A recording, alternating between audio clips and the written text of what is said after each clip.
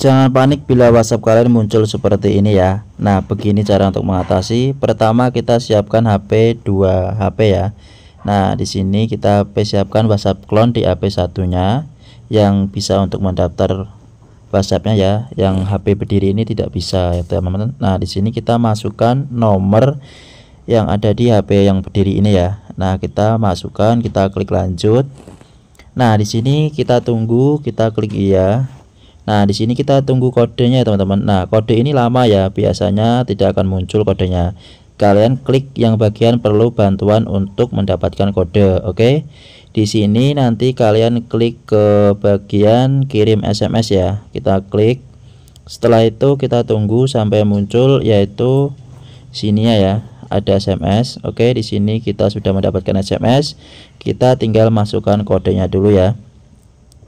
Nah, kita tulis kodenya dulu. Oke, di sini kita sudah masukkan kodenya, teman-teman. Kita tunggu. Nah, di sini sudah berhasil, teman-teman, berhasil mendaftar ya. Kita masukkan kuncinya terlebih dahulu untuk WhatsAppnya.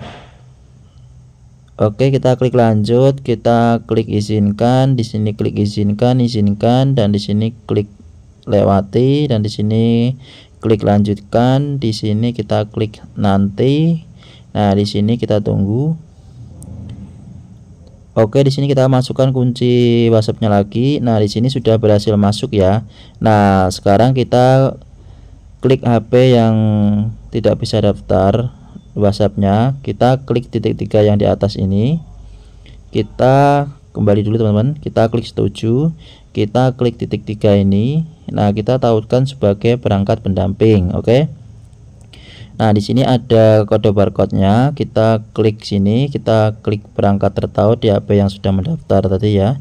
Kita klik gunakan data seluler, kita klik sandinya HP. Nah, kita tunggu, kita klik lanjut, kita klik izinkan, kita memulai memindah ya. Kita seperti ini. Oke, di sini sudah berhasil masuk ya, teman-teman. Nah, ini sudah berhasil masuk ya kalau kayak gini ya.